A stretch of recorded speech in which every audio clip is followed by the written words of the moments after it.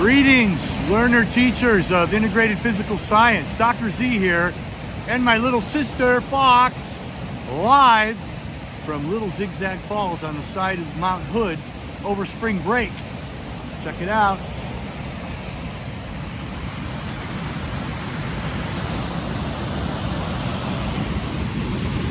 And you know what I'm thinking about?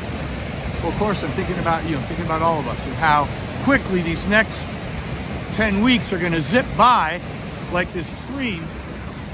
But I believe if we work together, we can make this truly the best class ever.